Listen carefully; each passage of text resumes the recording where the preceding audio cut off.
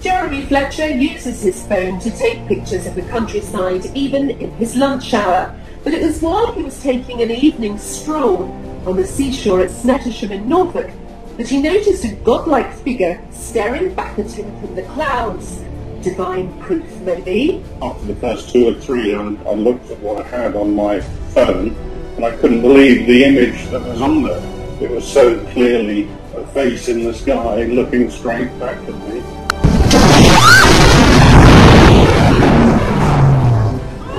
Everything that I command you, you shall be careful to do. You shall not add to it or take from it.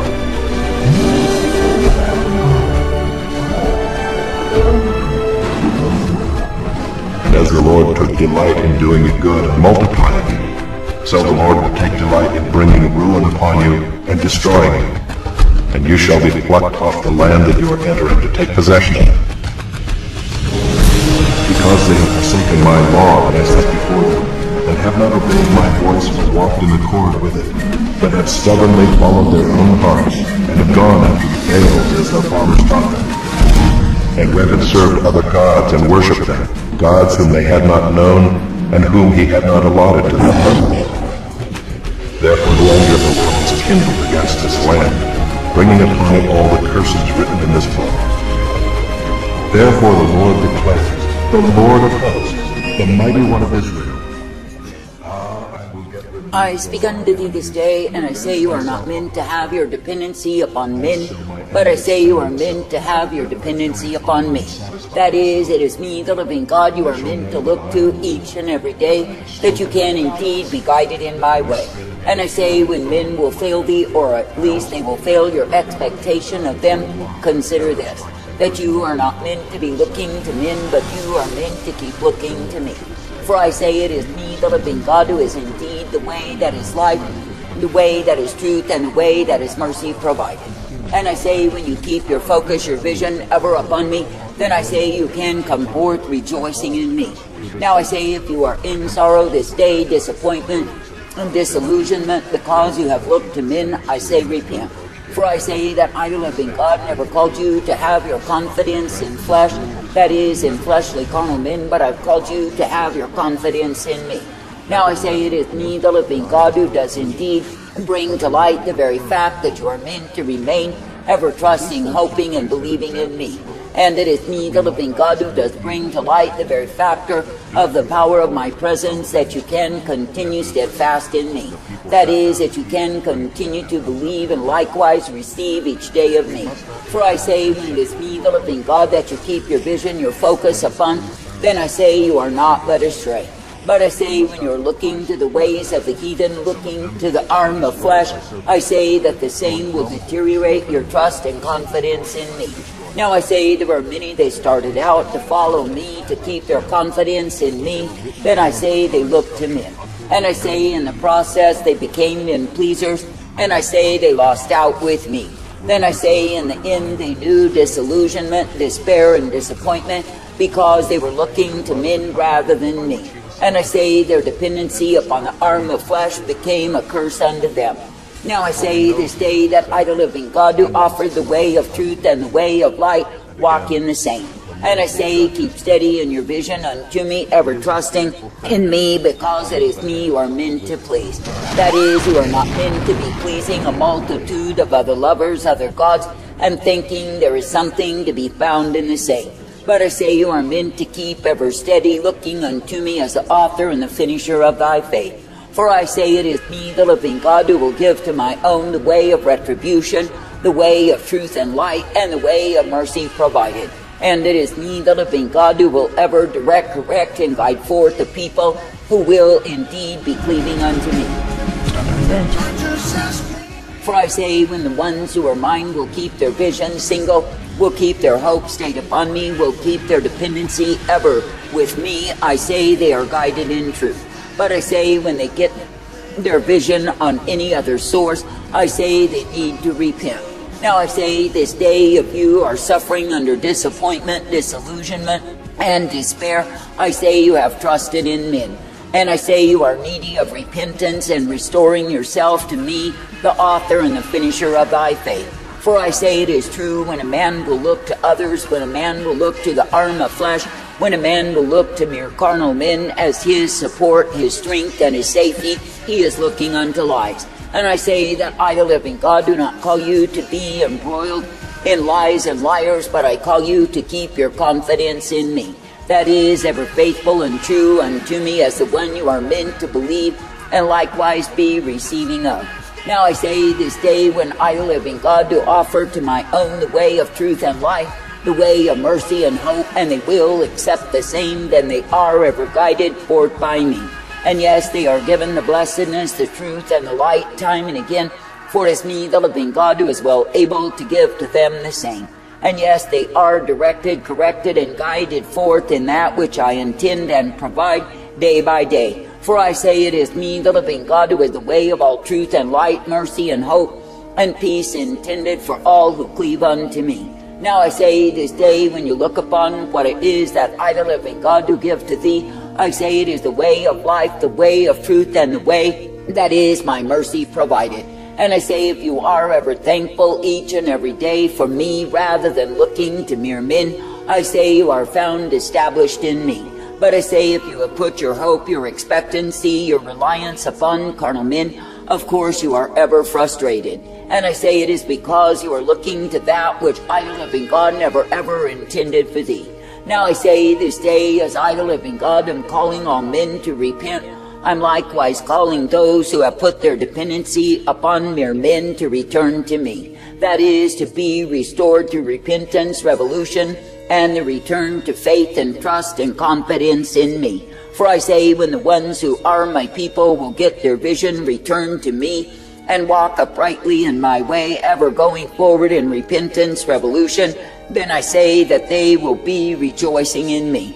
That is, instead of being filled with the sorrow, the despair, the futility, and emptiness that comes of looking to mere men, I say they will be filled with hope because they are stayed upon me.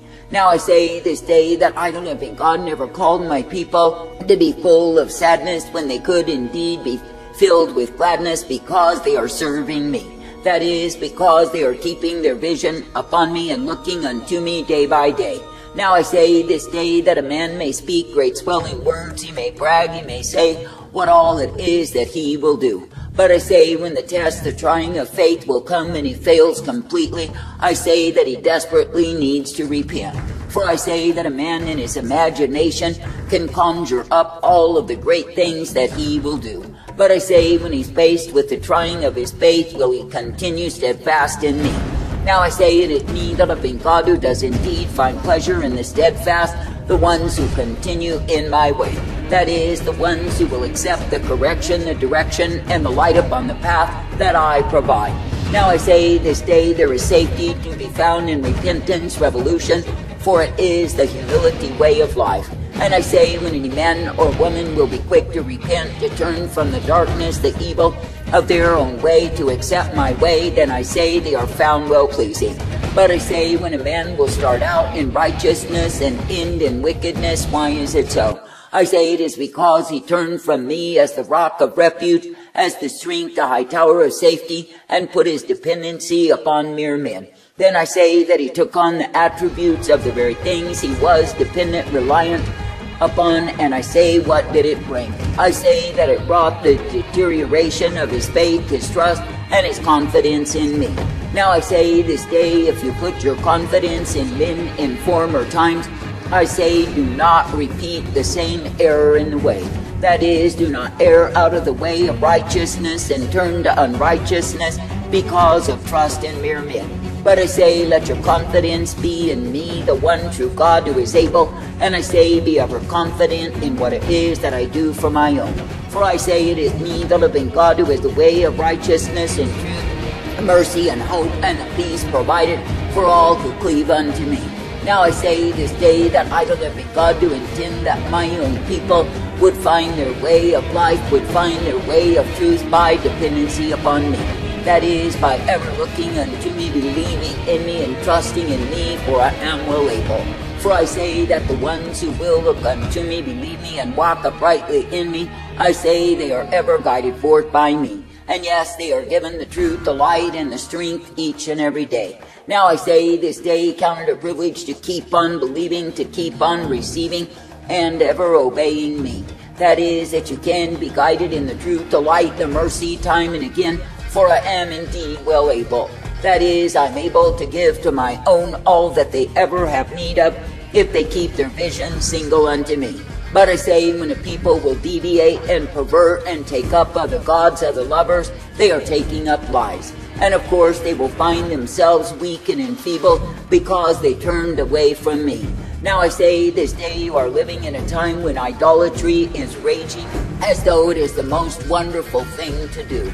That is, men are casting me off to take up idols and loving it so. But I say they are the fools who will find in the end that their idols have failed them, and they are left with nothing at all. That is, except the destitution and the impending damnation of their souls. I say this day do not look to the arm of flesh, even in the position of idols, and think you gain from the same. But I say, be ever looking unto me as the one true God who is able, the one you can trust in day by day. For I say, when it is me that you will be looking unto, believing and hoping in, then you are ever guided forth by me. And yes, you are given the blessedness, the truth, and the light that I offer each and every day. Now I say there are untold multitudes who are highly critical, analytical, and think they know oh so much. But I say the truth of it is, if they will not humble themselves and repent unto me, they know nothing at all.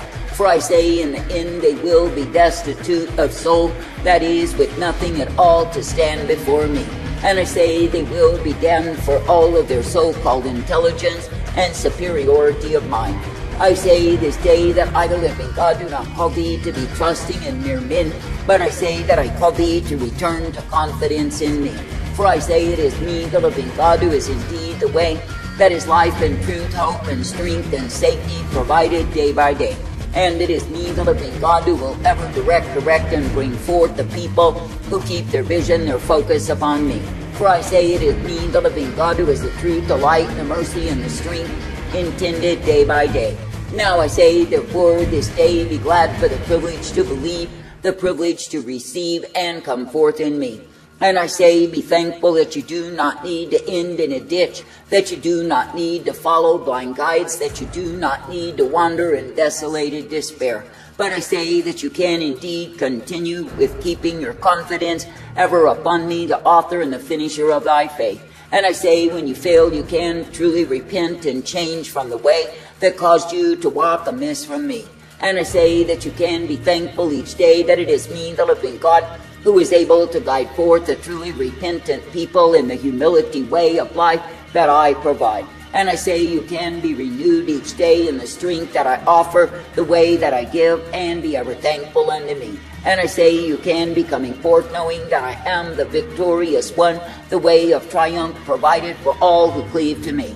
For I say if it is me that you keep on trusting, believing, and hoping in, it is me who guides thee forth and it is me who will give to my own the clarity that they have need of to keep their vision single unto me. Now I say this day, if you feel the chastisement upon you because you have looked to mere men, I say repent this day. And I say be thankful that you do not need to be deceived nor beguiled, but you can indeed through repentance be returned to me. That is, to the fellowship, the oneness that I intend and provide for my own that you can indeed be strengthened each day because it is me that you serve. I say, be thankful to receive the truth, the light, and the mercy. Be thankful to be guided each day. Be thankful to be ever directed by me. For it is me, the living God, who is the one who will guide thee forth in the way of eternal life. And it is me, the living God, who will give to thee such as you have need of time and again, for I am indeed well able. For I say you are not meant to be looking to that which men can do, but rather what I can do. And I say you are not meant to be deceived by men in their promises, for I say they are full of falsehood and pretension day by day. I say be thankful for truth and light, for mercy and hope, and the peace that I provide. And I say, be glad that it is me, the living God, who will guide thee forth in the way of repentance, revolution, the humility way that I intend for my people to be in that they are not swayed, beguiled, or seduced out of my way, but they keep their vision single unto me, the one true God they are meant to serve.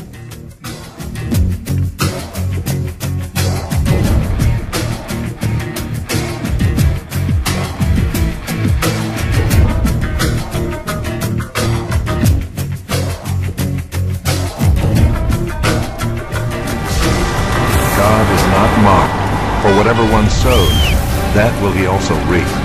For the one who sows to his own flesh will from the flesh reap corruption. commanded by God. You're commanded by God to repent. You're commanded by God